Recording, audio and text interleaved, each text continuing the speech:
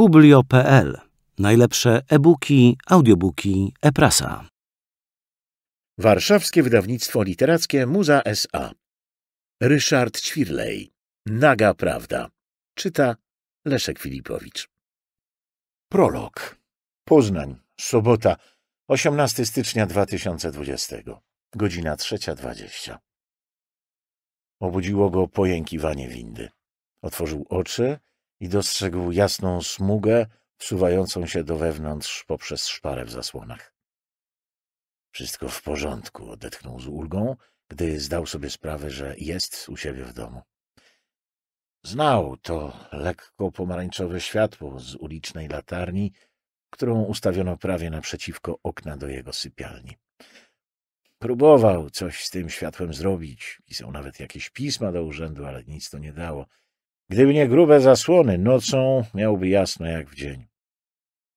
Na początku bardzo go to irytowało, ale teraz po dwóch latach mieszkania w tym nowoczesnym apartamentowcu na poznańskich Garbarach przyzwyczaił się już do tego stopnia, że nawet polubił tę latarnię. Była przydatna, kiedy budził go pełny pęcherz. Nie musiał wówczas szukać włącznika światła. Latarniana poświata doskonale oświetlała drogę do drzwi. O, teraz właśnie poczuł ucisk w podbrzuszu.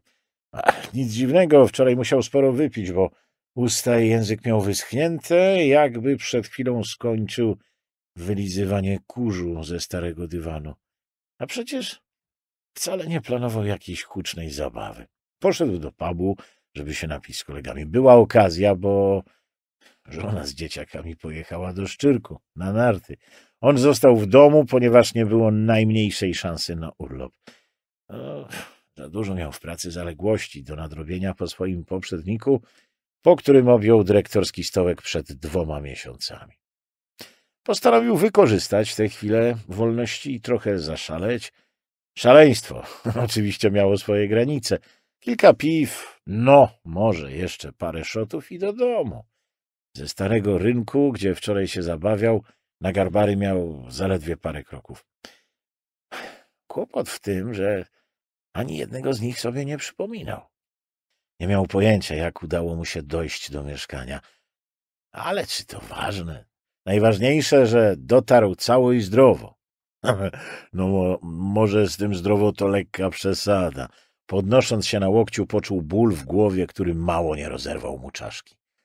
O ja pierdolę! Jęknął, chwytając się za skroń.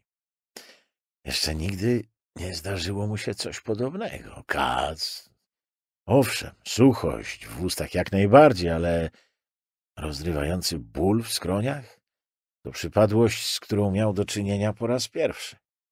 Ostrożnie podniósł się z łóżka i podreptał w kierunku łazienki. Gdy tam dotarł, zapalił światło, wszedł do środka i powoli, podtrzymując się ściany, doczłapał się do sedesu. Zsunął bokserki i już chciał zacząć sikać, gdy nagle uświadomił sobie, że klapa, ta służąca do siedzenia, jest opuszczona. Zdziwił się, bo on opuszczał ją tylko w razie większej potrzeby. Gdy był sam w domu, najczęściej obie klapy sterczały w górze, odsłaniając paszczę porcelanowej muszli. Ciekawe, kto ją opuścił. Pomyślał, chwytając za plastik i wtedy zamarł z przerażenia. Dostrzegł bowiem, że jego dłonie mają jakiś dziwny kolor. — O ja pierdolę! — zaklął i odwrócił się do lustra. Przez chwilę stał wpatrzony w postać gołego faceta z potarganymi włosami i w gaciach spuszczonych do kolan. Wszystko w tym wizerunku było naturalne, poza jednym. Brzuch, ręce, uda i przede wszystkim twarz miał ubrudzone czymś czerwonym. W pierwszej chwili pomyślał, że to jakaś farba, że koledzy, z którymi był w pubie, wysmarowali go dla kawału. Odkręcił kran i włożył dłonie pod strumień ciepłej wody. Przerażony patrzył, jak czerwona woda spływa po białych ściankach umywalki. Nie, to nie była farba.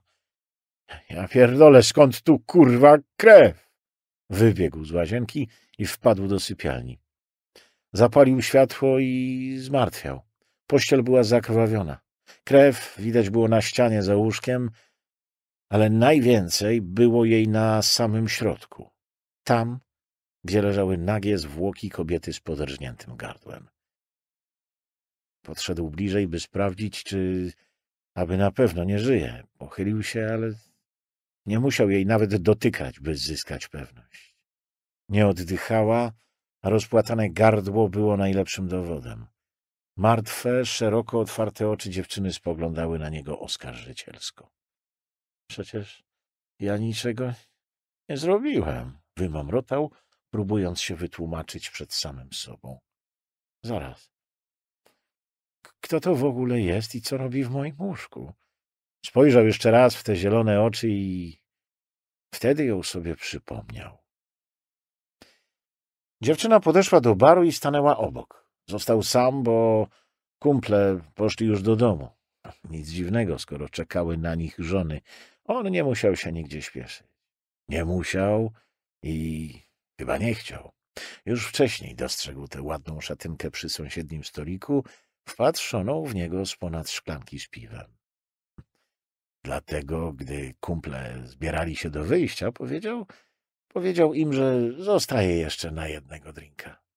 Wolne?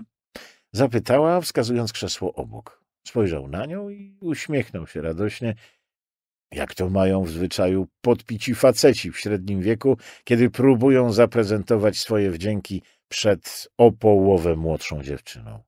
Zajęte, ale specjalnie dla pani, rzucił szarmancko. To można, co? Zapraszam, oczywiście. Poklepał siedzisko stołka. Wspięła się po relingu przy barze i usiadła. Mam na imię Adam, a ty? Iga. Hmm, ładne imię. E, zwyczajne. W sumie to Jadwiga, a Iga to skrót, no wiesz. A, nadzwyczajne, bo nie co dzień poznaje się Igę, Jadwigę. Spróbował błysnąć, ale sam poczuł, że zabrzmiało to pretensjonalnie. Nadzwyczajnie to jest w Chinach. Tak? Nie zrozumiał, o co jej chodzi. No, nie oglądasz w telewizji? Jakiś wirus wydostał się z laboratorium i zabija ludzi. Eee, Chińczyków jest tak dużo, że nawet nie zauważą straty, jak jakiś milion umrze. Ale może dojść do nas. Z Chin? Nie, nie żartuj, wirus nie ma nóg. Tam ich zamkną, otoczą wojskiem i nie ma szansy. Tę analizę epidemiologicznej rzeczywistości przerwał barman. Coś podać? E, Pepsi z lodem poprosiła, obdarzając Adama uśmiechem. Hmm, kto to widział samą Pepsi pić? Rzucił lekkim tonem.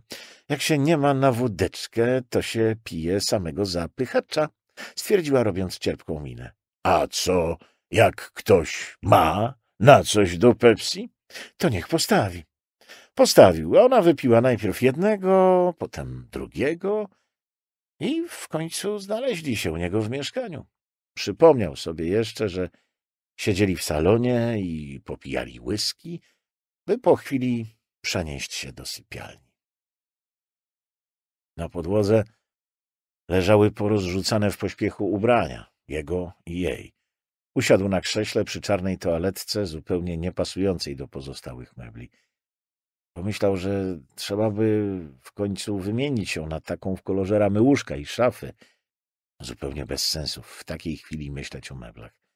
Nie miał pojęcia, co ma teraz zrobić. Chyba powinien zawiadomić policję. Niech łapią mordercę, bo przecież on by w życiu jej nie zabił. Po jaką cholerę miałby to zrobić? Ktoś musiał się dostać do mieszkania i ją zamordować. Tylko po co? Ja pierdolę, co się tu kurwa dzieje?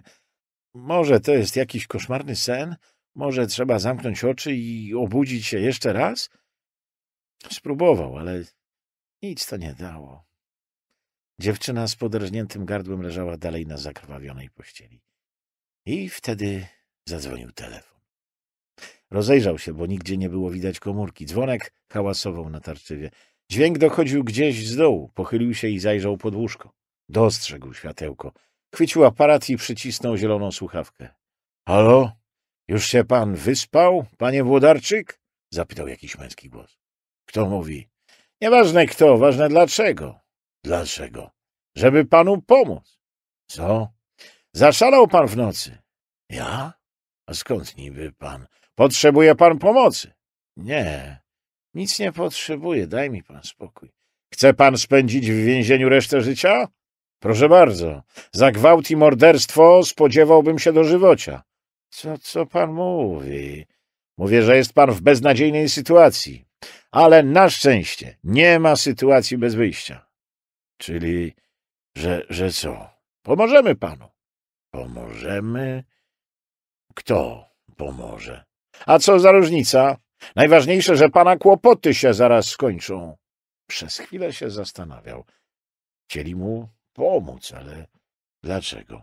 Jeśli ktoś obcy chce ci pomóc, to znaczy, że ma w tym interes.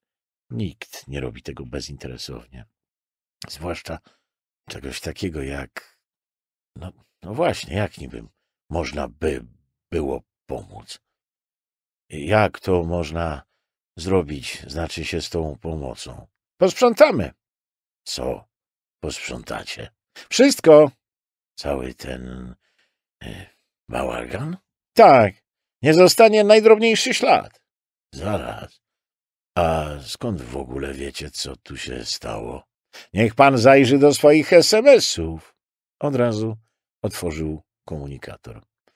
Kilkadziesiąt zdjęć zamordowanej, zakrwawionej dziewczyny zostało wysłanych z jego komórki na jakiś obcy numer telefonu. To był ten sam numer, z którym się połączył. Nie rozumiem. Jak to? Ja, ja wysłałem do pana te zdjęcia? Oczywiście, że pan. Mnie tam nie było. Kim pan jest? Przyjacielem? Przecież ja pana wcale nie znam. Jak mogłem wysyłać takie zdjęcia do obcej osoby? Widać, nie jestem taki obcy, skoro się pan zdecydował. Nic nie rozumiem. Nie musi pan teraz nad niczym się zastanawiać. Raczej chyba nie ma na to czasu, nieprawdaż? Zalecałbym jednak szybkie podjęcie decyzji. Może któryś z sąsiadów coś słyszał? O, wie pan, w tych nowych budynkach ściany nie są zbyt grube. A czego pan chce w zamian? Niczego. Niemożliwe. A jednak cuda się zdarzają. Proszę się nie martwić. Nie interesują mnie pańskie pieniądze. Nie? To co, mam przysłać ekipę? Jaką ekipę? Czyścicieli. Cztery godziny później mieszkanie Adama Włodarczyka, dyrektora Wydziału Gospodarki Nieruchomościami Urzędu Miejskiego, wyglądało jakby nic tu się nie wydarzyło. Meble w sypialni świeciły pogodnym blaskiem mroźnego świtu, a wszystko wokół pachniało czystością i zielonym jabłuszkiem. W tym otoczeniu tylko Włodarczyk prezentował się nieświeżo. No, ale w końcu miał prawo do kiepskiego wyglądu po zapitej i nieprzespanej nocy pełnej ekstremalnych wrażeń. Poznań, miasto kurwa doznań, powiedział do siebie i zasnął w fotelu. Na powrót do sypialni jakoś nie mógł się zdecydować. Rozdział pierwszy. Pamiątkowo. Środa, 11 marca 2020. Godzina 6.50. Pierwsze promienie słońca powoli wysuwały się z za koron iglastych drzew i spływały łagodnymi smugami na tafle jeziora. Drewniana, stara łódź leniwie cięła równą połać wody. Wiosła w nienaoliwionych dulkach zgrzytały, trzeszczały i jęczały jak potępione dusze na wiecznych mękach. Odpowiadały im pokrzykiwania i popiskiwania ptaków, które uwijały się w poszukiwaniu towarzystwa i jedzenia. Mimo, że o tej porze z nad wody bił jeszcze ostry wiosenny chłód, nie był on w stanie odstraszyć prawdziwych miłośników natury, czyli wędkarzy, którzy obsiedli przybrzeżne pomosty w oczekiwaniu na wielką sztukę. Każdy z tych stacjonarnych poławiaczy szczęścia z zazdrością patrzył na przesuwającą się po wodzie łódkę, a, bo wiadomo, że w takiej, nawet starej i trzeszczącej, można dopłynąć wszędzie, w najdalszy zakątek, do którego za nic nie dałoby się dorzucić haczyka z przynętą z brzegu. No, nie każdy jednak mógł sobie na taki luksus pozwolić. To pływające cudo trzeba było gdzieś przechowywać zimą, a latem mieć własne miejsce do cumowania. Waldek Bartkowiak, pięćdziesięcioletni właściciel łodzi, kochał przyrodę, szczególnie poranki nad wodą i ten jedyny, niepowtarzalny i niepodobny do niczego innego zapach papierosów, połączony z wilgotnym aromatem mułu i trzcin. Hm. On na szczęście nie mieszkał w bloku, tak jak większość tych biedaków siedzących na pomostach. Mieszkał w murowanym domu czterorodzinnym, postawionym jeszcze przed wojną dla pracowników majątku w Przecławku. Po wojnie mieszkali tam robotnicy rolni spółdzielni produkcyjnej, a teraz bezrobotni, którzy żadnej pracy nie potrzebowali.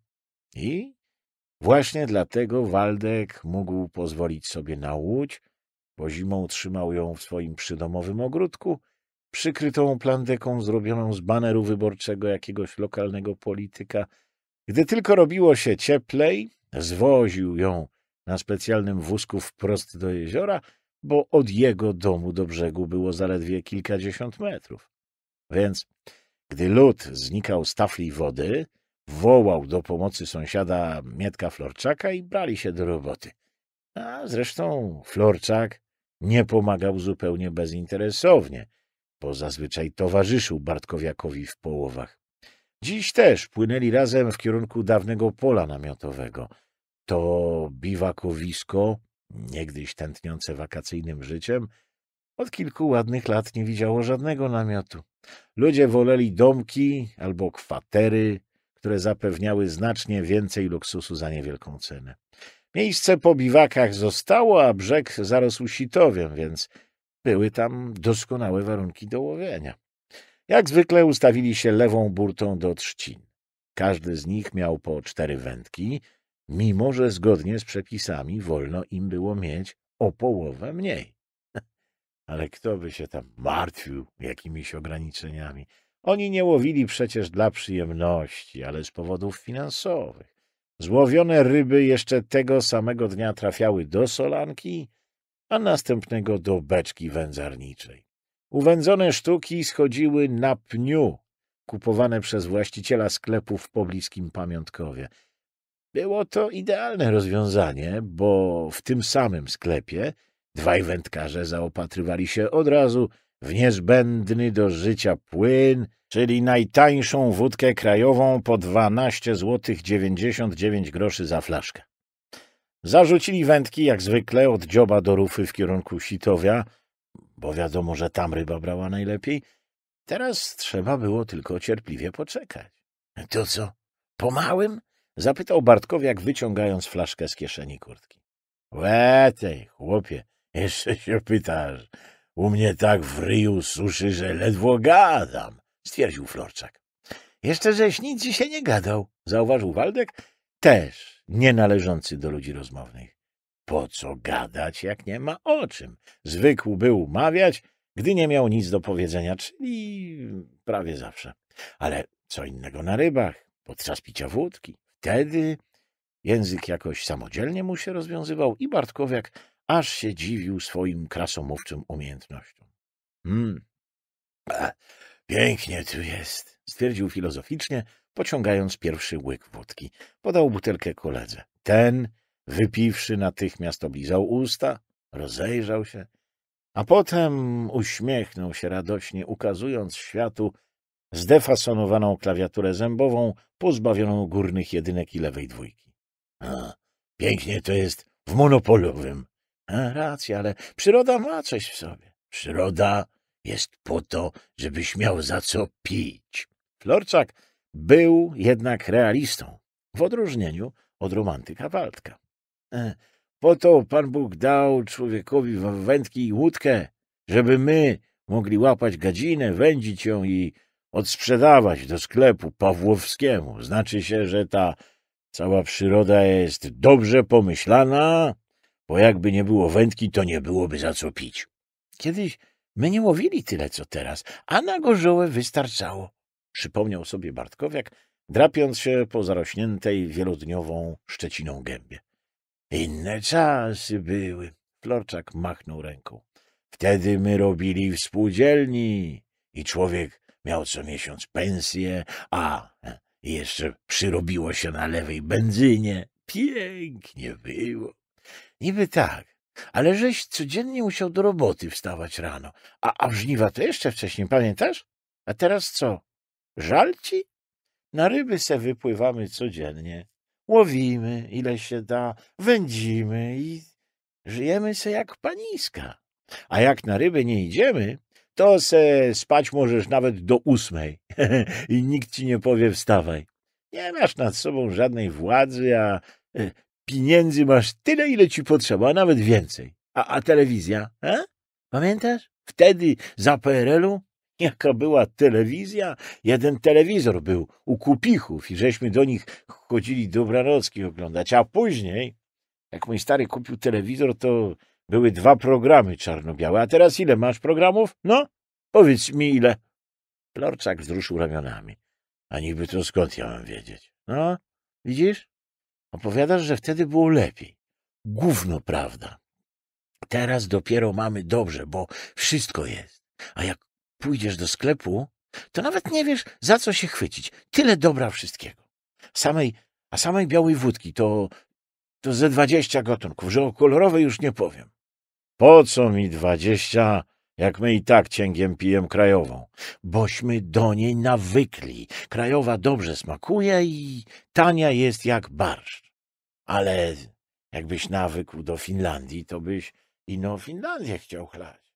Nigdy w życiu, Florczak pokręcił głową. Finlandia nie jest dla ludzi. Za droga. Kto to widział, żeby za pół litra dawać trzy dychy? Jak za tyle można mieć dwie inne flaszki i to całkiem dobre, nie? No, prawda. W kwestii wydawania pieniędzy zgadzali się doskonale. Tam, gdzie było można, zawsze oszczędzali. Zapalimy? Zapytał Florczak, wyciągając paczkę papierosów z kieszeni wojskowej kurtki Moro. Popatrzył na nią i uśmiechnął się pod nosem. A za komuny to żeś nawet nie pomyślał, że ruskie ćmiki będziesz palić. Bo za komuny były popularne, to na cholerę ruski tytoń, a teraz jak nasze są takie drogie, to grzech nie kupić tych bondów za, za piątaka. W sklepie zaopatrywali się w papierosy z podlady, które do Polski przywozili Ukraińcy i odsprzedawali właścicielowi. Te o filmowej nazwie Bond cieszyły się największym wzięciem, bo były najtańsze. E, takie musiał palić ten Bond z filmu, stwierdził z miną znawcy Florczak, wkładając papierosa w usta. Głupić, jaki Bond mógł palić ruskie fajki. Przecie on jest Amerykanin. Nie Amerykanin, ino Angol. Widziałem we filmie, że on jest z Londynu. A co, Amerykanin to już nie może być z Londynu? Nie może. Jakby był z Londynu, to by był nie Amerykaniec, ino... Y, Naraz Florczak przerwał wpatrzony w coś przy brzegu. Bartkowiak też tam spojrzał, przekonany, że jego kolega obserwuje spławik, ale jak dotąd żaden się nie poruszył. Ryby jeszcze się nie zorientowały, że ktoś zaprasza je na morderczą ucztę. Tam! Florczak wskazał brudnym paluchem fragment trzcin. Co tam? Zapytał właściciel łodzi, który niczego nie mógł dojrzeć. Coś tam jest. Co? Ktoś mówi? A Ady tam, patrz się, jak te trzciny są potargane. Wiatr. Gówno, nie wiatr. Coś się zgniotło. Łódź ktoś spuszczał przez trzciny? Jakiś głupi czy jak? Łódź się spuszcza z plaży, żeby nie uszkodzić. To nie łódź. Florczak był coraz bardziej zaintrygowany. Coś wjechało do wody. Amfibia? Samochód. Ja pierdolę. Tam auto wjechało do wody. Mówiąc to, poderwał się na równe nogi tak gwałtownie, że łodzią zakołysało. — Co ty gadasz? — Patrzcie tam! — wskazał kierunek. — Widać czerwone w wodzie. Tam jest samochód. Płyniemy tam. — Zaraz, a, a wędki? Trzeba je ściągnąć. — Kładź wszystkie na tył. Nic im nie będzie.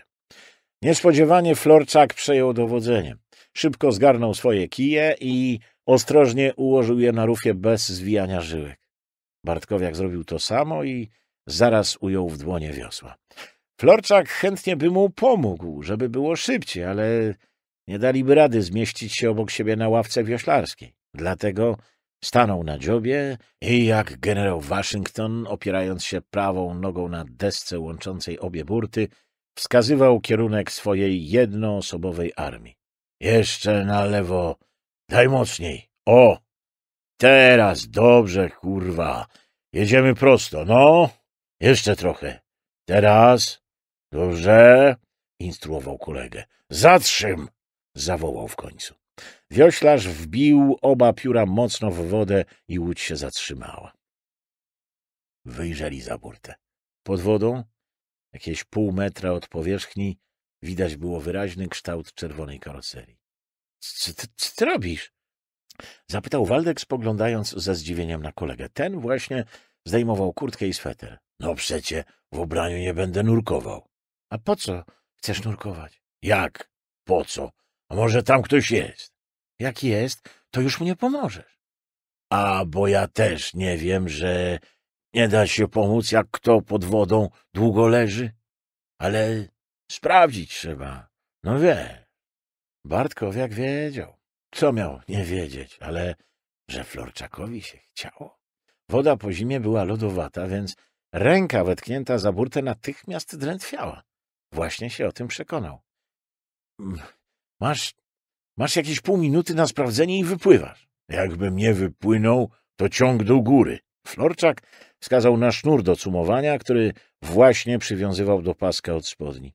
Pasek zapiął na biodrach, a potem, powoli, zaczął się opuszczać do jeziora, przytrzymując się burty.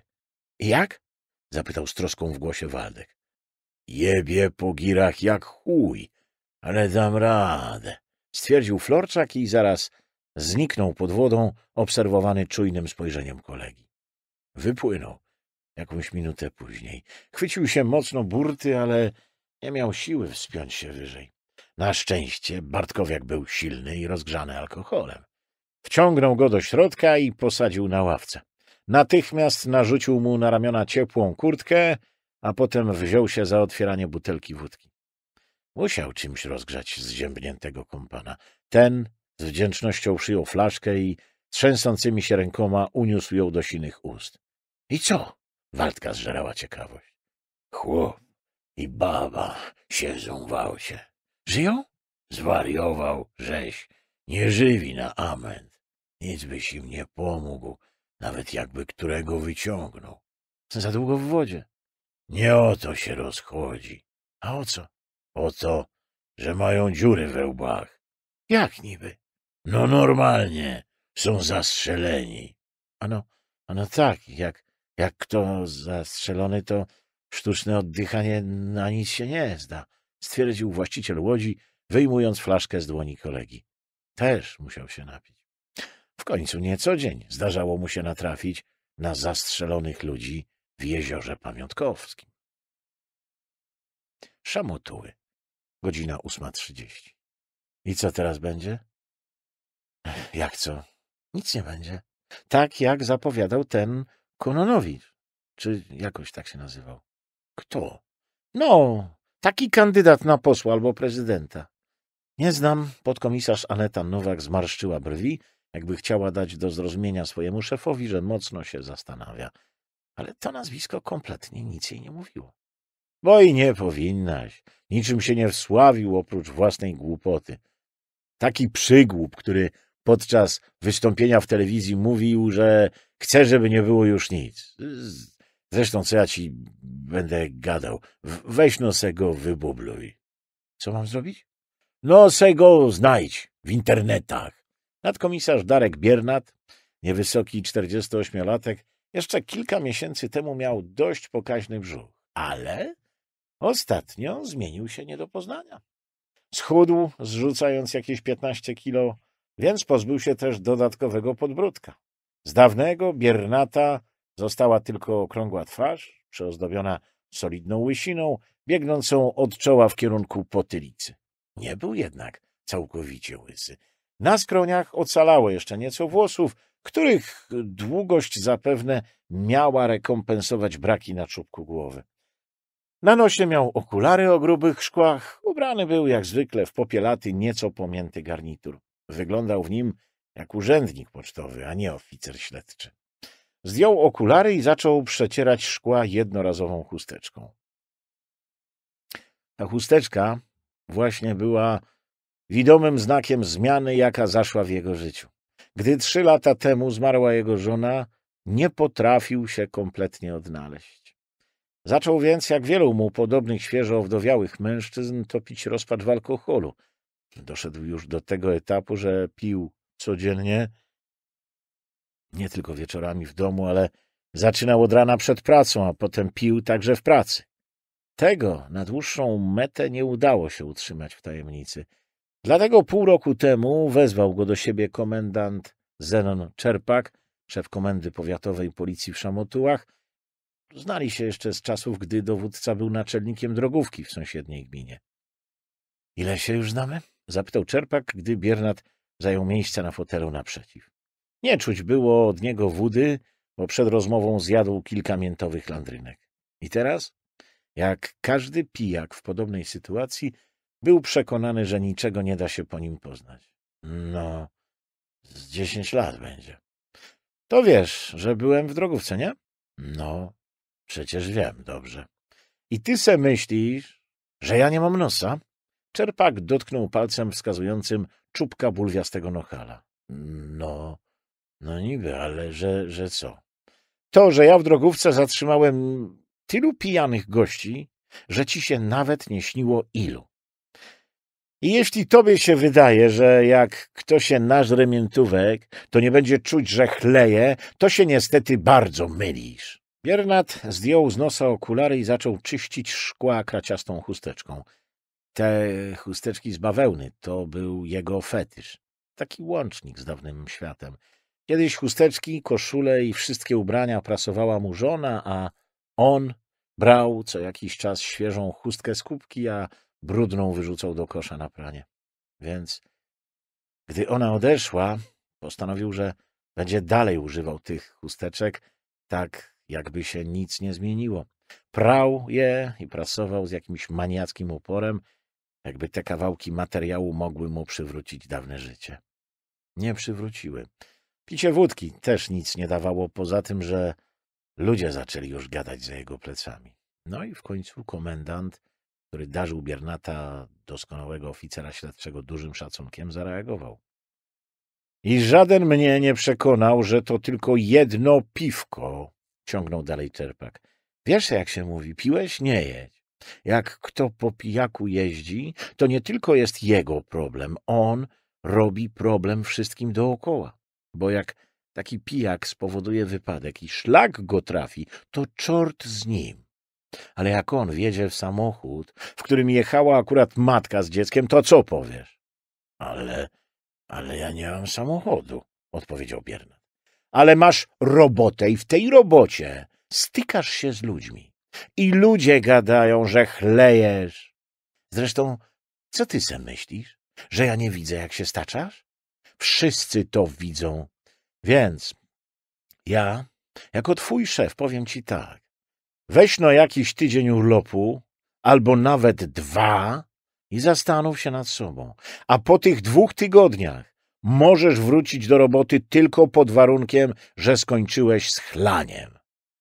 Bo jakbyś jeszcze zamierzał chlać po kryjomu, to lepiej od razu napisz podanie o zwolnienie ze służby.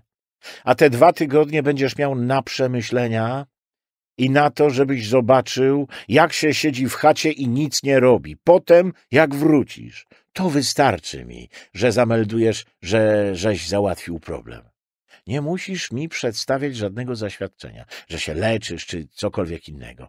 Ja ci wierzę, że jesteś przyzwoity facet i jak wrócisz, będziesz już całkiem niepijącym gościem. Poszedł na urlop i po dwóch tygodniach wrócił do pracy całkowicie trzeźwy. Przemyślał wszystko i doszedł do wniosku, że musi zamknąć za sobą ten rozdział życia, a picie do niczego nie prowadzi. No, może tylko do rozstania z firmą w ekspresowym tempie. I zrobił coś jeszcze. Przestał prasować bawełniane chusteczki. Odtąd nosił przy sobie papierowe jednorazówki. Ja tego pamiętam. Starszy aspirant Szymon Turek, szczupły facet w dżinsowej kurtce i kowbojskich butach, któremu do pełni szczęścia brakowało tylko kowbojskiego kapelusza na głowie, spojrzał na swojego przełożonego z nadgazety. Codziennie pracę zaczynał od prasówki i kawy. Do tego jeszcze jakiś czas temu koniecznie musiał zapalić papierosa, ale odkąd dwa lata temu do jego pokoju znowu wprowadziła się Aneta, palenie zostało surowo wzbronione.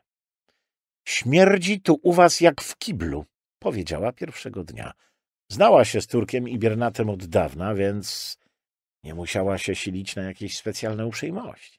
Pierwszy raz do Szamotu trafiła w 2012 roku ze swojego posterunku w prowincjonalnych dusznikach. Wszystko dzięki własnej przenikliwości i umiejętności wyciągania logicznych wniosków. To ona wpadła na trop ludzi, którzy porwali syna miejscowego biznesmena i odkryła miejsce, w którym go ukrywano. Wtedy zwrócił na nią uwagę Biernat i zabrał do siebie. Ale nie zagrzała tu długo miejsca. Jej umiejętności doceniono też w komendzie wojewódzkiej. Wkrótce dostała przeniesienie do Wydziału Dochodzeniowo-Śledczego. Dobrze wykorzystała ten czas, bo skończyła zaocznie studia prawnicze, a potem szkołę oficerską w Szczytnie. A co ma nie śmierdzieć, jak ja tu palę papierosy? Turek umiał znaleźć zawsze najbardziej logiczne wyjaśnienie, tyle że niezbyt zadowoliło ono Onetę. Jeśli myślisz, że będę wąchać twoje smrody, to się mylisz. Od dziś, jak będziesz chciał zapalić, to sobie chodź do palarni. Ja nie mam zamiaru być bierną palaczką. Poza tym, o ile wiem, w pomieszczeniach biurowych komendy jest całkowity zakaz palenia.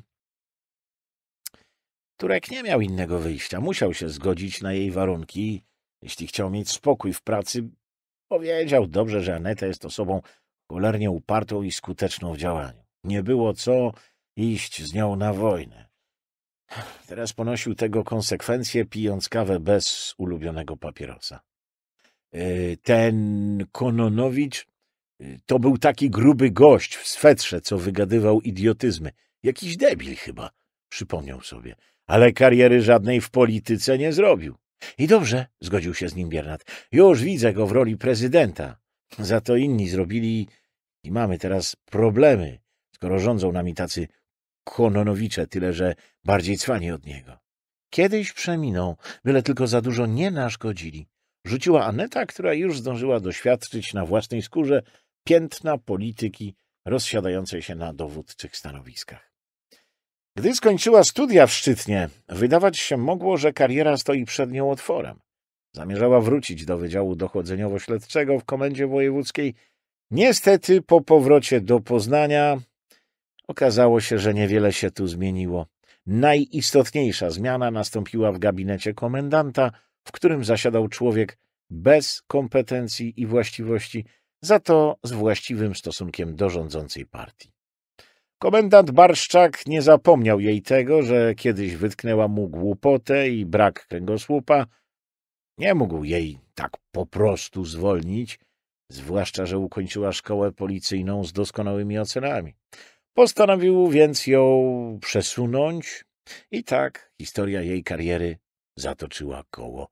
Wróciła pod skrzydła Biernata do komendy powiatowej w Szamotułach. Hmm. Ciekawe, co będzie teraz z tą epidemią? Przecież to jakieś szaleństwo. Biernat wyglądał na autentycznie zafrasowanego. To robota Chińczyków, stwierdził Turek, który dużo czytał i miał już sporą wiedzę na temat tego wirusa. Chińczycy wyprodukowali go w swoim tajnym laboratorium w Wuhan i zrobili go po to, żeby spowodować chaos. No a dziś przez lotnictwo, y, znaczy się przez to, że latamy i, i się przemieszczamy, wirus rozprzestrzenia się błyskawicznie i, i będzie zabijał ludzi na całym świecie. O, widzicie, co się dzieje we Włoszech? Oni tam kompletnie sobie nie radzą. I, I u nas też tak będzie. Będą ludzie padać jak muchy, bo nasz rząd nie jest wcale przygotowany na taką epidemię. A Chinolom o to właśnie chodziło. Chcą spowodować, żeby wszystko się zamknęło, żeby w Europie i w Ameryce zaczął się kryzys, a oni potem zaczną wykupować upadłe firmy. Ja czytałem taką analizę. Ale Chińczycy przecież też chorują, nie? przerwała mu Aneta. No, no pewnie, że chorują, ale dla nich to nie problem. Oni mają sporo ludzi, więc oni sobie szybko poradzą, bo, bo mają szczepionkę na tego wirusa. Chińczycy? Mają szczepionkę? Zdziwił się Biernat. No pewnie, mają i, i już ją od razu podali swoim najważniejszym, no tym, co są u koryta. Partyjna góra jest cała zaszczepiona. Siedzi sobie bezpiecznie przed telewizorami i, i planuje, do którego kraju się wbić ze swoimi inwestycjami. Oni normalnie zaatakowali cały świat. Ludzie jeszcze o tym nie wiedzą, ale stoimy przed katastrofą. A gdzie ty znajdujesz takie głupoty? Biernat był jak zwykle sceptyczny. Nie wierzył w jakieś spiskowe teorie. Mogę ci pokazać. Jest taka strona internetowa, co się nazywa Naga Prawda. Tam jest wszystko na temat tej zarazy. Ona się dopiero rozpędza, ale szczęście, że ja to czytam, yy, bo tam mówią, co zrobić, żeby nie zachorować. Ja na ten przykład codziennie łykam aspirynę, bo tam yy, napisali, że aspiryna pomaga. I jeszcze pomagają wziewy sterydowe. No, to ja jestem w takim razie zabezpieczony, bo wziewy biorę ciągle. Nadkomisarz uśmiechnął się pod nosem, bo akurat ta informacja go ucieszyła. Nie wierzył w bzdury, ale w skuteczność sterydów owszem. Biernat był alergikiem, który szczególnie źle znosił okres wiosenno-letni, kiedy w powietrzu unosiło się sporo pyłków roślinnych. Zawsze wtedy chodził zakatarzony, a ratunek przynosiły mu sterydowe lekarstwa i nie miał nic przeciwko temu, żeby ochroniły go także przed tajemniczym chińskim zagrożeniem. Ale aspiryna najlepsza, przekonywał Turek z entuzjazmem. A ty, Aneta, też powinnaś brać, bo masz jasną karnację. Wirus atakuje najbardziej tych, co mają jasną skórę. A co to ma wspólnego z karnacją? Zdziwiła się. Rzeczywiście miała jasną skórę, do tego rude włosy, zielone oczy i trochę piegów na nosie. Nie mogła się opalać, bo jej skóra reagowała na słońce natychmiastową czerwienią. Ale żeby skóra mogła reagować na wirusa? Wirus może się przedostawać też przez wrażliwą skórę, więc trzeba brać aspirynę. Machnęła ręką. Wiesz co, ty już nie czytaj tych bzdur o nagiej prawdzie. Ty weź poczytaj jakąś książkę. O, jak chcesz, właśnie skończyłam fajny kryminał. Nie wierzycie mi? No dobra, ale aspiryna nas wszystkich uratuje. Na biurku Biernata zadzwonił stacjonarny telefon. Podniósł słuchawkę. No, co tam jest? Zapytał bez cienia entuzjazmu. Przez chwilę słuchał w skupieniu. Mhm. Dobra, ekipę techniczną stawiaj na nogi. Y, do straży pożarnej dzwoń, niech dają wóz i płetwonurków. A dla mnie samochód podstawiaj z kierowcą. Schodzimy za pięć minut. Odłożył słuchawkę i spojrzał na swoich podkomendnych. Wirus może i zabija ludzi, ale my dziś mamy zabitych wcale nie przez wirusa, tylko przez... No, tego się dowiemy. Pewnie nie brali aspiryny, rzucił Turek, podnosząc się z fotela. On zawsze był gotowy do roboty w terenie. Aneta szybko spięła swoje długie włosy gumką, sięgnęła po czarną bejsbolówkę i założyła ją, przekładając koński ogon przez otwór z tyłu. Z szuflady w biurku wydobyła pas z kaburą kryjącą czarnego gloka. Turek, jak prawdziwy kowboj, nosił rewolwer. A, co prawda nie amerykański, ale polski, gwart, egzemplarz unikatowy i niemal kolekcjonerski, który udało mu się załatwić własnymi kanałami od rusznikarza policyjnego z Warszawy, takiego samego jak on kowboja i miłośnika nietypowej broni. Biernat podszedł do wieszaka i zdjął z niego operacyjną czarną kurtkę z jaskrawym napisem policja na plecach, zarzucił ją na ramiona i wyszedł z pokoju. Jego ludzie poszli za nim. Mieli robotę do wykonania. Poznań, godzina dziewiąta dwadzieścia. Właściciel baru Świat Wódek, starszy aspirant Przemek Drążkowski, zaklął pod nosem, spoglądając na ekran telewizora. Przez chwilę jeszcze patrzył na żółte paski informacyjne podające najnowsze wiadomości, a potem przydusił przycisk na pilocie i wyłączył urządzenie. — Co się wściekasz, Przemuś? — zapytała Alex, która za barem ustawiała właśnie kieliszki w równych rzędach. O tej porze pijalnia była jeszcze nieczynna, ale ona już przygotowywała się do otwarcia w południe. Lubiła mieć wszystko przyszykowane, zanim do pracy przyjdą dziewczyny, dwie studentki, które zajmowały się nalewaniem drinków i podawaniem zakąsek. Jak co? Nie widzisz, co się dzieje? Co się dzieje? No nie udawaj. Wstał od stolika, przy którym właśnie skończył jeść śniadanie, zabrał talerz z resztkami jajecznicy i szklankę z niedopitym sokiem pomarańczowym i poszedł w kierunku bufetu. Przecież też oglądasz telewizję. Ja tam na te bzdury nie patrzę. Nie interesuję się polityką, stwierdziła dziewczyna, uśmiechając się do gramolącego się na wysoki stołek Przemka, prywatnie jej męża. Tę knajpę przy ulicy Półwiejskiej przekazał mu ojciec, bo staruszkowi już zdrowie nie dopisywało i nie mógł zajmować się jej prowadzeniem. Formalnie jeszcze cały czas był właścicielem, ale rządził tu Przemek. Nie, jemu wydawało się, że rządzi, bo faktyczną kierowniczką wszystkich knajpianych spraw, najwyższą decydentką i ostateczną instancją była Alex – Miała na imię Aleksandra, ale wszyscy, zwracając się do niej, używali skrótu, bo zdrobnieniem tego nazwać nie można. Nie chciała być Oluchną czy Olcią, więc wymyśliła Alex, uważając, że to jej dodaje uroku i niezwykłości. Kiedyś nosiła w nosie kolczyk zakończony kulką, ale zdjęła go, bo Przemkowi się nie podobał. Powiedział jej, że wygląda jakby zwisał jej z nosa jakiś glut. Obraziła się i nie odzywała się do niego przez tydzień. Ale w końcu ustąpiła, dochodząc do wniosku, że dobry związek polega na wzajemnych ustępstwach. Przyszła więc do pracy po tym milczącym tygodniu i jak zwykle zrobiła mu śniadanie. Podeszła do stolika, postawiła przed nim jajecznicę i usiadła naprzeciwko. Zdjęłam ten cholerny kolczyk, powiedziała dotykając nosa. Bardzo się zdjęłam, bo tak chciałam, a nie dlatego, że mi kazałeś. Nigdy niczego bym ci nie nakazał. Powiedziałem tylko, że wygląda jak... Jak ci się nie podobam, to powiedz otwarcie. Podobasz mi się. Wszystko mi się w tobie podoba. A moje smoki? Nie wpadniesz na pomysł, żebym i je usunęła? Kocham te twoje potwory. Chwycił jej rękę, pociągnął ku sobie i pocałował smoczy pysk. Na przedramionach miała kolorowe smoki, których łby opierały się na wierzchach dłoni, bo Alex uwielbiała smoki. Czytała i oglądała wszystko, co zawierało choćby smoczy ślad. Była prawdziwą smoczą specjalistką. Do tego stopnia, że na coroczny festiwal fantastyki Pyrkon zawsze ubierała się we własnoręcznie uszyty strój złotej smoczycy.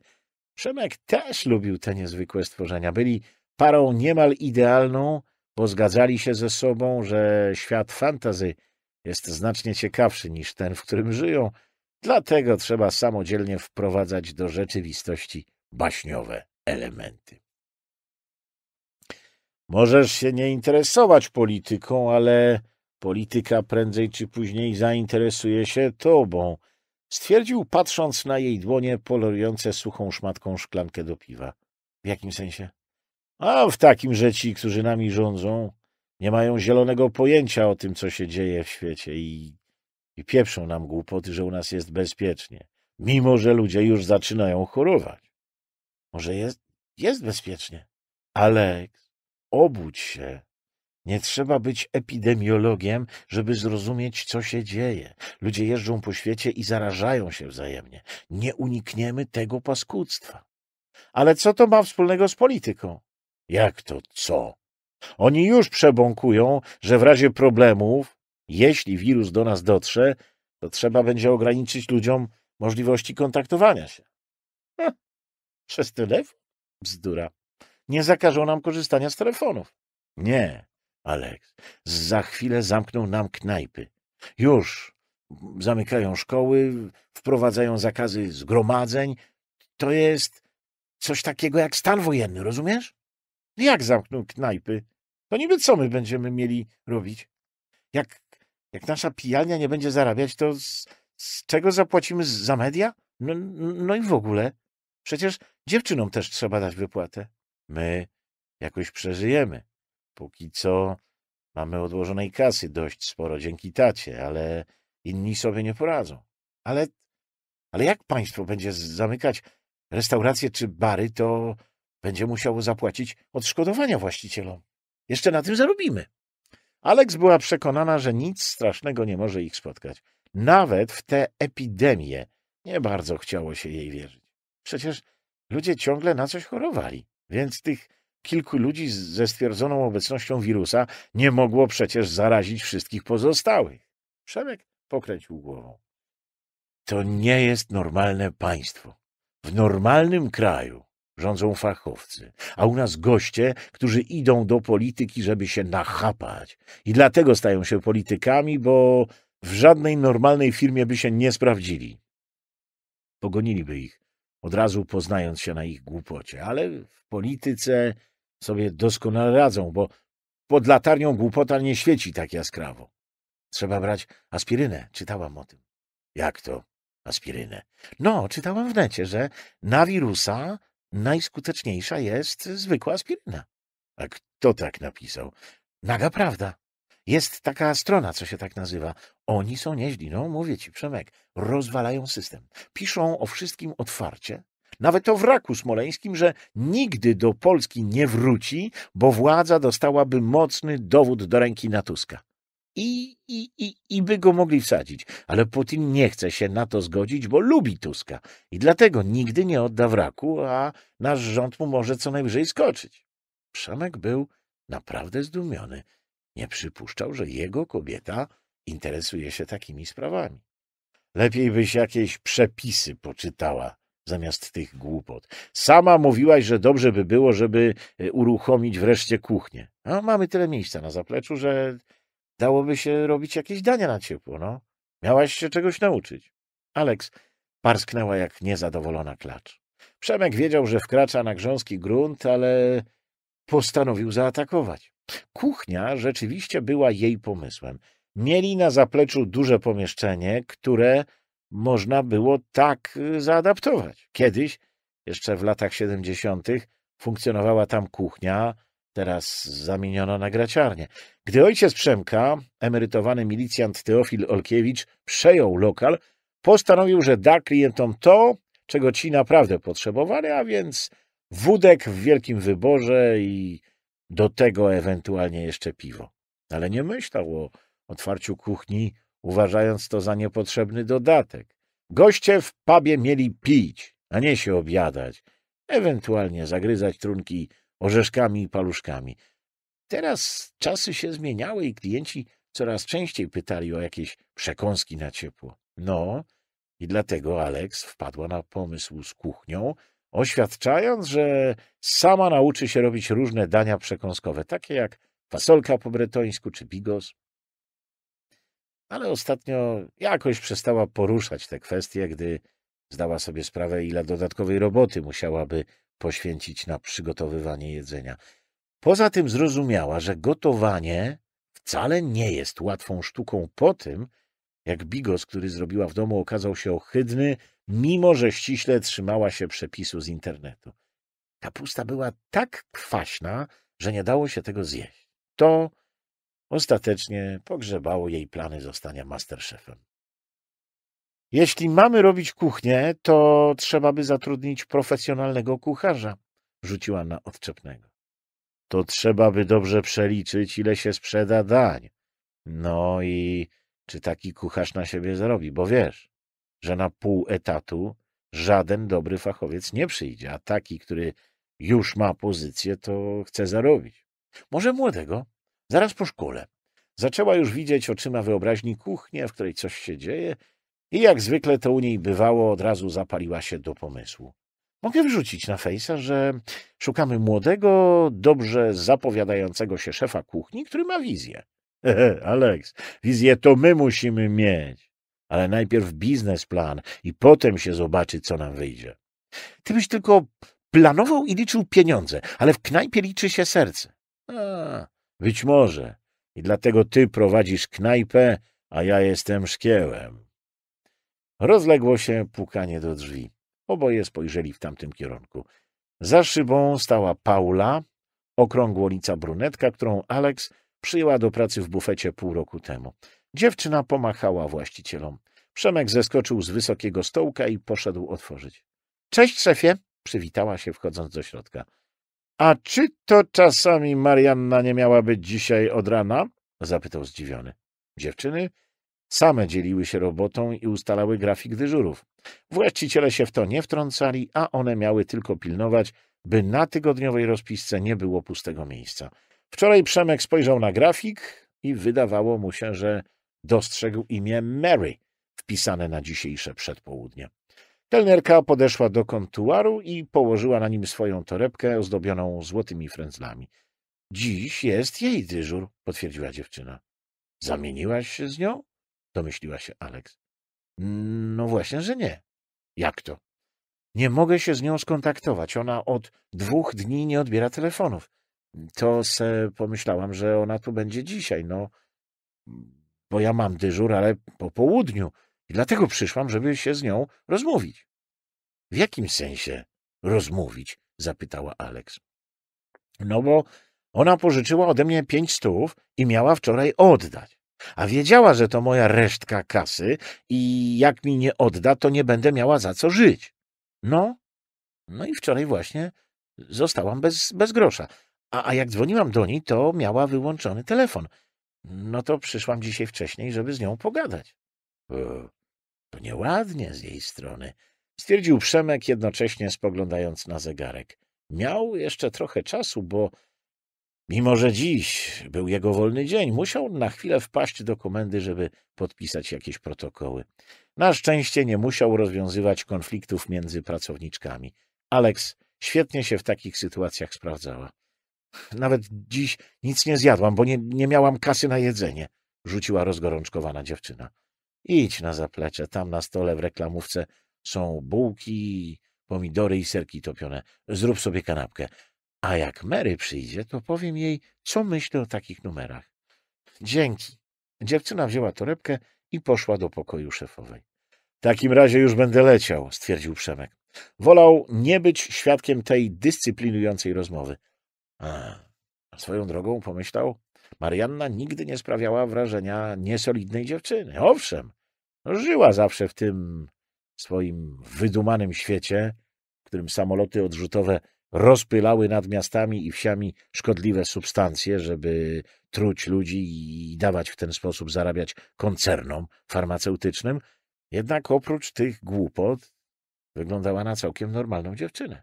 — O której będziesz? Myślę, że o trzynastej będziemy mogli pójść już na jakiś obiad. Super. Ja bym dziś coś chińskiego zjadła. Jakbyśmy mieli działającą kuchnię, to byśmy nigdzie nie musieli chodzić. To może rozejrzyj się za kimś, kto nam taką kuchnię zaprojektuje. No wiesz, te wszystkie kwestie techniczne, tego sami nie ogarniemy. Posłała mu uśmiech i zaraz sięgnęła po komórkę. Wybrała numer Marianny. Nie było żadnego sygnału. Po chwili odezwał się sztuczny głos, który poinformował ją, że abonent jest poza zasięgiem lub ma wyłączony telefon. Nie wiedzieć czemu, poczuła jakiś dziwny niepokój, ale nie przejęła się tym zbytnio, bo nie należała do osób przesądnych. No, chyba że te przesądy dotyczyłyby smoków. Pamiątkowo, godzina 11.30. To ci dwaj. Młody posterunkowy wskazał na facetów siedzących na drewnianym klocu, który zastępował plażową ławkę. Kilka takich płaskościętych pni ułożono tu, by wypoczywający mieli na czym usiąść.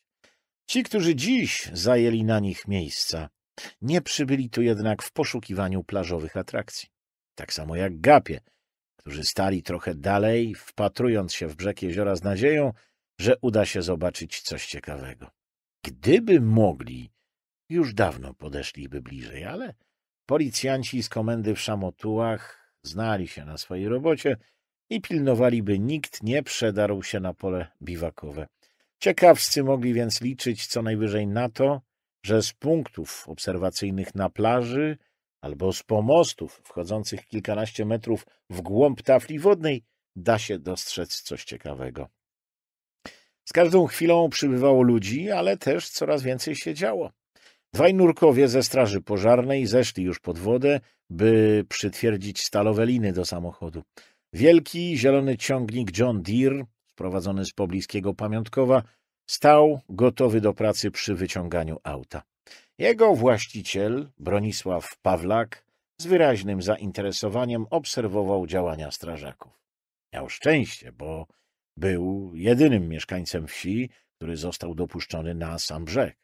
Liczył, że dzięki temu będzie miał najlepszą wiedzę na temat wypadku i każdy będzie chciał z nim porozmawiać. A on wtedy opowie, jak to traktor ruszył i... Na razie jednak nie miał pojęcia, jak to wszystko będzie wyglądało, bo nurkowie jeszcze pracowali przy samochodzie. Jedynymi świadkami byli tylko ci dwaj siedzący na pniu faceci, ubrani w zniszczone wojskowe kurtki Moro. To wy znaleźliście ten samochód? Aneta podeszła do obu mężczyzn wskazanych jej przez posterunkowego i od razu zaczęła ich przepytywać. — A pające to co do tego, że się tak spytam?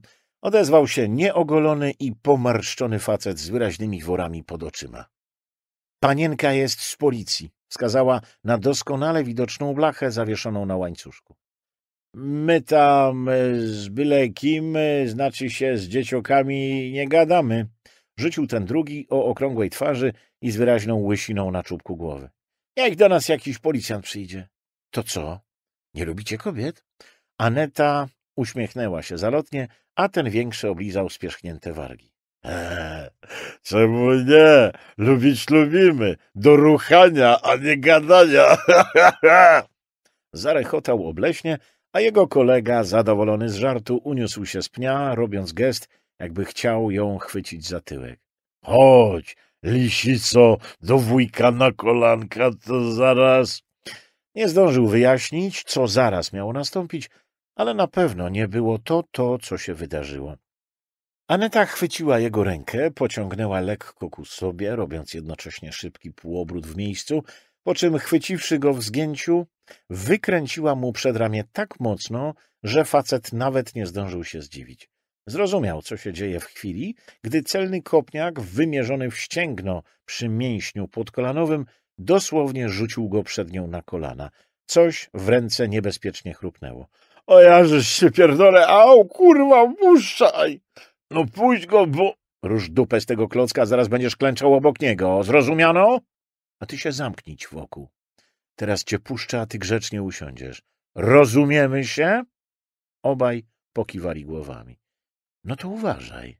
Puszczam twoją łapę, a ty siadaj na dupie i ani słowa, dopóki was nie poproszę. Puściła. Mężczyzna podniósł się z trudem i zaraz wziął się za rozmasowywanie nadwyrężonego nadgarstka. Aneta tymczasem złożyła ręce na piersi, a na jej twarzy pojawił się uśmiech. Była zadowolona ze swojej szybkiej reakcji i z tego, że pokazała tym dwóm nieokrzesanym typom, gdzie jest ich miejsce i że należy trzymać łapy przy sobie. Nie znosiła tych seksistowskich zachowań, oblepiających oślizgłych spojrzeń i uwag rzucanych niby żartem, na które pozwalali sobie także jej koledzy z pracy. Ale najbardziej odrażające było dla niej, gdy ktoś obcy próbował przekroczyć granice intymności i wyciągał w jej stronę swoje brudne łapy. Dlatego zareagowała błyskawicznie, żeby od razu wprowadzić zasady, których nieprzestrzeganie mogło się skończyć dla tych dwóch jakąś trwalszą kontuzją. Zresztą oni już o tym wiedzieli. Wystarczyło tylko spojrzeć na ich zdziwione gęby. No, to teraz zacznijmy nasze spotkanie od nowa, bo chyba coś nam nie poszło na początku. Jestem podkomisarz Aneta Nowak, a panowie?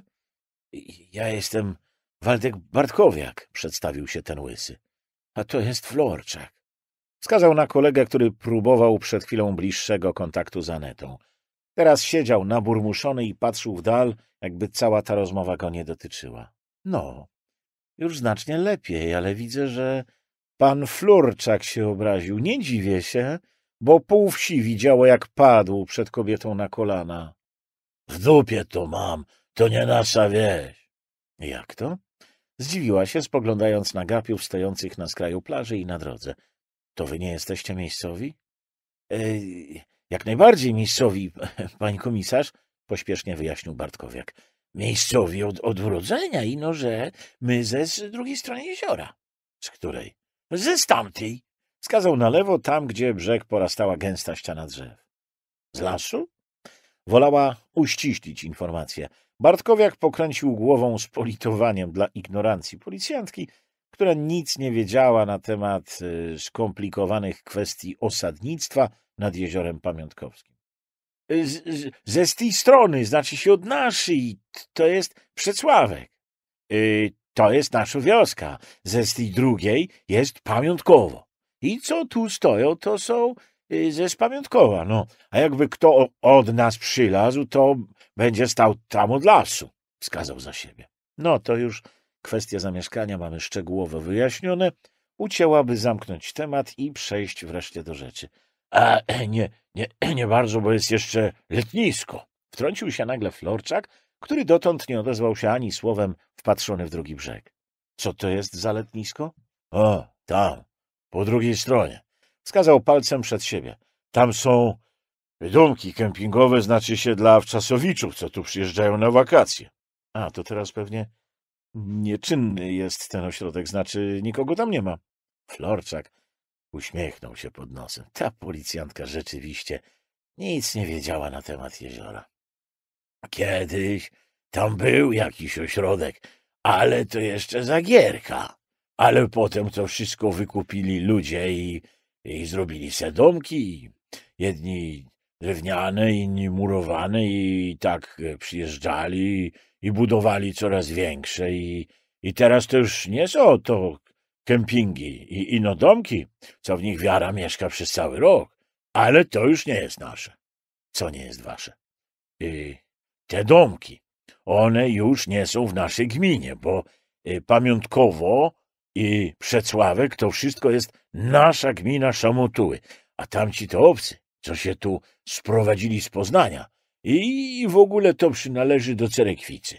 Nazwę sąsiedniej miejscowości Florczak wymówił z lekkim lekceważeniem. Aneta od razu to zauważyła.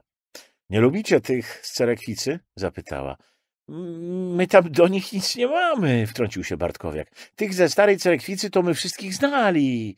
Ale to byli ci, co tu żyli od zawsze, ale, ale ci nowi to szkoda gadać. Przyjechali nie wiadomo skąd i zaczęli się budować. Pełno ich tu, tu się najechało, samych obcych. Wszędzie stawiają domy i zaraz jak postawią, to chcą, żeby im asfalt robić i lampy, i gaz. I ta ich gmina, rokietnica, to im robi. A u nas w Przecławku to gazu się nie doczekamy nigdy pewnie, a asfalty to, to nam dosi położyli dopiero cztery lata temu. Tyle my się na, na tę drogę naczekali, a oni mają wszystko tak od razu, na zawołanie. I gdzie tu jest sprawiedliwość? O, właśnie. Poparł kolegę Florczak. Oni mają tam ładne chaty, samochody, ładne żony i psy do wyprowadzania na spacer, a my tu nic nie mamy. A ci, co tam w tym samochodzie, to miejscowi? Wskazała za siebie, tam, gdzie właściciel traktora właśnie zakładał stalową linę na zaczep maszyny. Y, — To nikt od nas — stwierdził Florczak stanowczo. — Jest pan pewien? — No, przecież ja tam nurkował nawet, żeby sprawdzić, czy, czy jeszcze nie żyją. — Widział ich pan? — Widziałem. Całkiem niepotrzebnie widziałem, bo teraz mi się będą śnić do końca życia te ich łby odstrzelone. A twarze? Twarze... Twarze to były takie, że mało co się widziało, bo napuchnięte, jak meduzy, ale... A ja taki więcej obrzydliwy jestem. Ale jedno, co wiem na pewno, to, to oni nie są od nas. Skąd taka pewność? Przecież nie mógł pan rozpoznać twarzy. Yy, rozpoznać to się rozumie, że, że nie rozpoznałem. Zaczął tłumaczyć powoli i wyraźnie, jakby objaśniał jakąś skomplikowaną kwestię dziecku. Bo jak człowiek długo we wodzie leży, to się robi miętki jak galard. Co my tu nad, nad tym jeziorem dobrze wiemy, bo to pielca to już nie jednego się tu wyłowiło. No, to oni tam muszą leżeć jakiś czas. Ja to bym nawet powiedział, że musieli tu wjechać na lód jeszcze zimą i wlecieli pod lód i, i po obtokach. A jak zimą wlecieli, to, znaczy się, że od zimy są zaginięci, a w Przecławku ani w Pamiątkowie nikt nie jest zaginięty od zimy. Y, znaczy to nie nasi, ale obcy. Jak zimą, to by ktoś ślady zauważył pewnie. Aneta natychmiast wyobraziła sobie auto wjeżdżające na lodową taflę i zaraz zapadające się w wodną toń. Miejsce, w którym samochód zanurzyłby się w wodzie, byłoby wyraźnie widoczne. Poza tym, gdyby jechał po zaśnieżonym brzegu, zostawiłby ślady prowadzące wprost do jeziora. Hmm, niemożliwe, żeby nikt tego nie zauważył, czyli do wypadku musiało dojść niedawno. Byłyby ślady na śniegu, powiedziała właściwie sama do siebie. Nie musieliby być, stwierdził Bartkowiak. Jak to? Jakby to było tydzień po tłustym czwartku, to by nic nie było widać, przypomniał sobie Florczak. Aneta spojrzała na niego jak na wariata, ale on wiedział, co mówi. E, w tłusty czwartek lód był już miętki, zgodził się z kolegą Bartkowiak. Wiem, bo, bo my wchodzili, żeby sprawdzić, czy jeszcze da się z przerębla łowić, ale już giry po kostki się zapadały w tej glajdzie, to no to my już odpuścili ryby.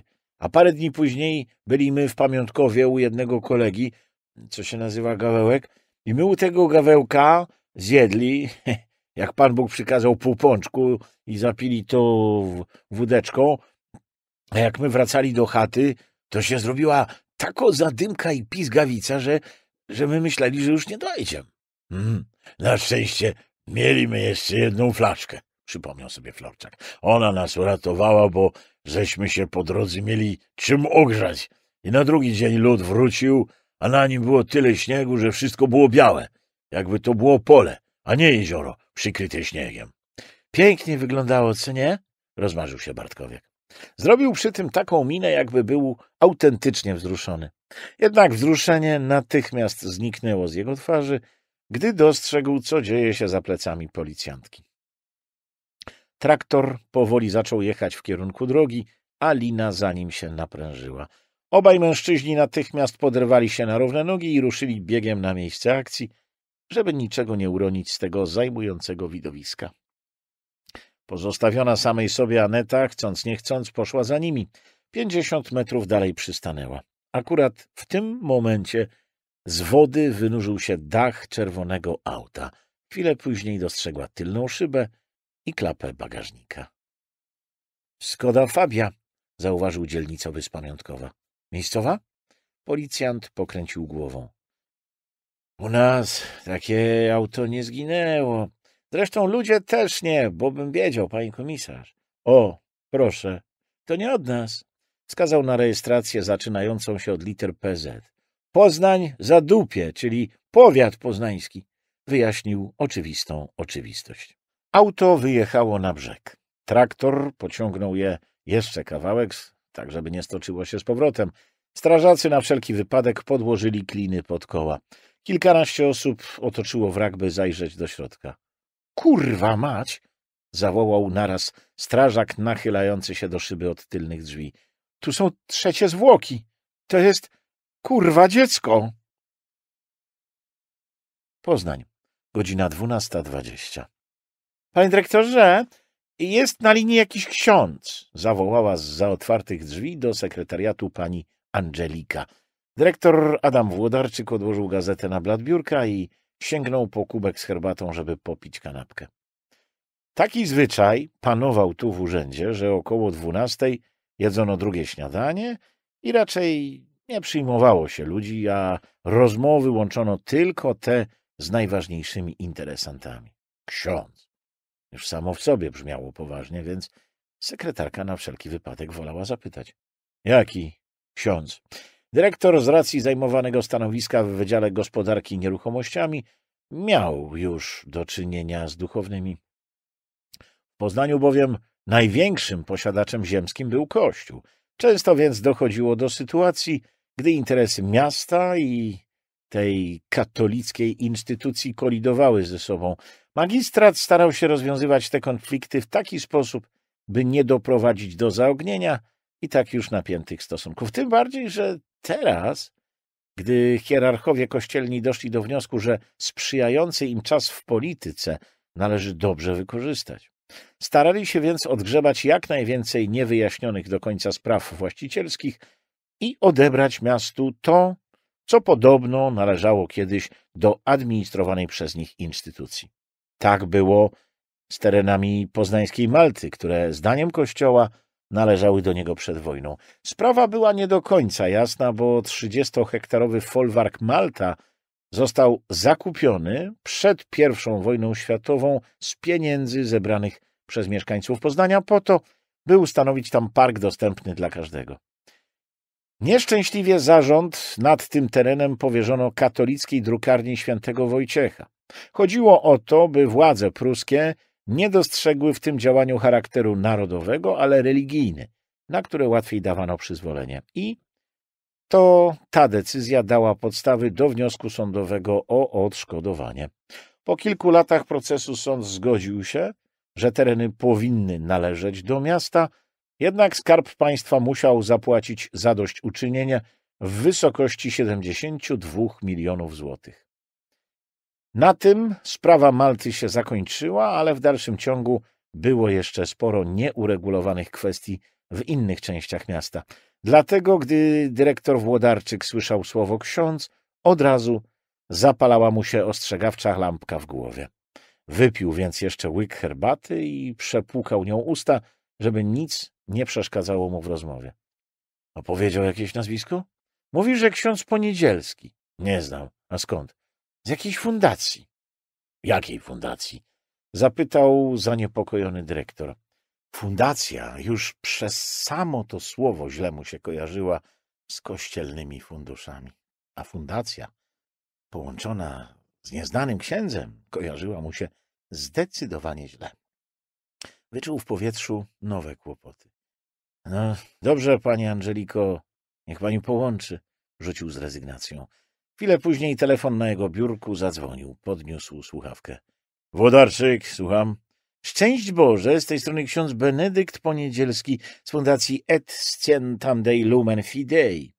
Ksiądz wybaczy, ale nie bardzo rozumiem, znaczy nie słyszałem o takiej fundacji. Znajomość Boga jest światłem wiary, to dokładnie znaczy nasza nazwa. Aha, rozumiem. To znaczy, że jesteście fundacją propagującą naukę Kościoła. Yy, nauka i Słowo Boże, szczególnie wśród młodzieży, mówił spokojnym i ciepłym głosem, takim, jakim wygłasza się kazanie o szczęściu i miłości. Staramy się trafiać do wszystkich, ale sam pan rozumie, młodzież to nasz target. Takie to modne dzisiaj słówko, ale oddające istotę rzeczy. W czasach, gdy młodzi ludzie masowo odchodzą od wiary, my wychodzimy im naprzeciw i mówimy zatrzymaj się, pomyśl, nie odchodź, zamiast nienawiści, która jak zaraza rozlewa się po naszej biednej ojczyźnie, my dajemy im miłość. Dyrektor starł pod z czoła wierzchem dłoni. Słuchał tego, co mówił ksiądz i jednocześnie w myślach przeprowadzał błyskawiczną analizę starych szkolnych budynków, które leżały w pobliżu kościołów czy plebanii, do których kościół mógłby rościć sobie jakieś prawa. Nie było ich dużo, ale kilka, owszem. Należały do miasta, ale gdyby dobrze pogrzebać w księgach wieczystych, to mogłoby się okazać, że jest jak z tą Maltą, a poza tym miał wrażenie, że jednak skądś zna tego księdza. Głos był jakby znajomy. Wychowanie młodzieży, jak pan doskonale rozumie, powinno być dla nas wszystkich sprawą kluczową. Yy, no, no rozumiem, oczywiście, że, że rozumiem. Tylko nie bardzo wiem, jak yy, mógłbym panu, znaczy się, przepraszam, księdzu pomóc. O, to, z czym się do pana zwracam, to sprawa dość prosta. Na pierwszy rzut oka wydawać by się mogła skomplikowana, ale gdy zdjąć z niej tę całą grubą i nieco zaśniedziałą skorupę czasu, to dotrzemy do jasnego sedna, które mówi, że dla dobra dzieci powinniśmy dojść do porozumienia. Czyli w czym problem? Ja dzwonię do pana dyrektora, bo jeśli spojrzy pan na nią, znaczy sprawę przychylnym okiem, wiedząc dokładnie w czym rzecz, to myślę, że szybko nabierze ona rumieńców. Dlatego właśnie próbowałem panu dyrektorowi od początku naświetlić właściwym światłem, kim jesteśmy. nie jesteśmy, broń Boże, jakąś organizacją o charakterze komercyjnym ani świeckim. My reprezentujemy świat sakrum, ale żyjemy tu i teraz w świecie profanum, więc by młodym ludziom wskazywać drogę, musimy ich do siebie przyciągnąć. A gdzie to najlepiej zrobić? Pytanie postawione przeze mnie z pozoru, tylko wydaje się proste, a odpowiedź na nie jeszcze prostsza. Wydawać by się mogło, że Kościół jest do takich spotkań miejscem odpowiednim. I tym pana zdziwię. Nie o Kościół nam idzie, ale o miejsce, gdzie z młodymi ludźmi będziemy mogli się spotkać i stanąć przed nimi nieoddzieleni stołem ofiarnym, ale obok, ramię w ramię. Rozumie pan, co mam na myśli? Tak, oczywiście, ale nie bardzo wiem, jak, jak księdzu mogę pomóc. My, y, my nie mamy żadnych wolnych lokali, które moglibyśmy przeznaczyć na cele religijne. Ależ nie, drogi panie, źle mnie pan zrozumiał. My nie chcemy od miasta żadnego lokalu. Nie? Teraz dyrektor zdziwił się autentycznie. Ten Klecha gadał już od dziesięciu minut o jakichś bzdurach, więc Włodarczyk był przekonany, że chce wydębić jakieś mieszkanie. A to oznaczało, że będzie mógł za chwilę go grzecznie, aczkolwiek stanowczo przekierować do Wydziału Komunalnych Zasobów Lokalowych. A oni już go tam przemaglują, bo oni potrafili radzić sobie z tymi wszystkimi instytucjami, które próbowały załatwić sobie atrakcyjne miejsce, najlepiej w centrum Poznania, za możliwie jak najniższy czynsz. Ale niestety okazało się, że ksiądz ma zupełnie inne oczekiwania. Y, to jak mogę księdzu pomóc? No, tak jak mówiłem, sprawa jest na pierwszy rzut oka niby skomplikowana, ale tak naprawdę jest prościutka i przy odrobinie dobrej woli szybciutko się dogadamy. Y, no to przejdźmy do rzeczy, bo ja za chwilę mam ważne spotkanie. Ależ proszę się nie martwić, już przechodzę do sedna. Otóż my nie potrzebujemy lokalu, ponieważ taki lokal już mamy. A dokładnie to w tej chwili ma go miasto. Budynek niestety popada w ruinę, ale gdy go odzyskamy, od razu mogę zadeklarować, że przywrócimy mu dawną świetność. Będzie najjaśniejszą perłą w całej okolicy, bo my potrafimy zadbać o to, żeby zabytek miał odpowiedni wygląd. O jakim e, budynku mowa?